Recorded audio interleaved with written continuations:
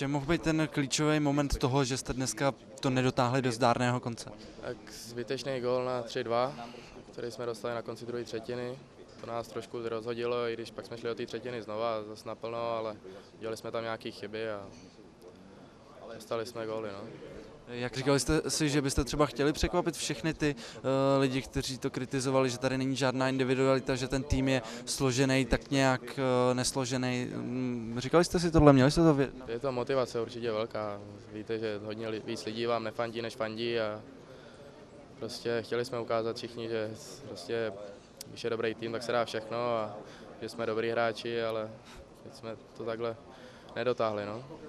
Jaké je celkové hodnocení turnaje tady na dvacítkách ve Švédsku?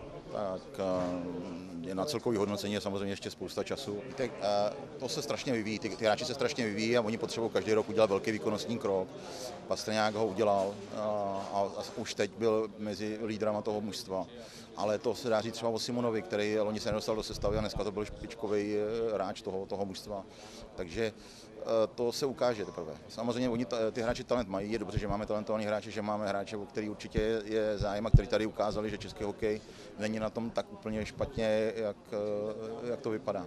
Takže uvidíme, jak to bude vypadat jejich budoucnost dál, ale věříme, že se budou zlepšovat, takže tohle mužstvo, kdy, má, kdy jste tady měli 8 hráčů, kteří můžou přijet na, na příští mistrovství světa, tak si myslím, že to je potenciál, který by se dal